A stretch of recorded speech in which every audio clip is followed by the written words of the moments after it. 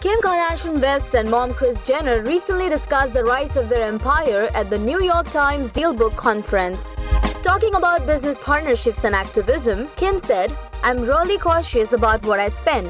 So if I overspend on something and a paid post happens to come in at that time, I'll wait out and think, okay, well, I have to pay for X, Y, and Z. Now it's a little bit more personal for me. If I have a paid post that comes in and I think, okay, well, this can fund X amount of people that are behind bars, that can help free them with simple legal fees that they just can't afford, then that would be worth it to me. Even if the post might be a little bit off brand for me. I really weigh out different things now than I used to.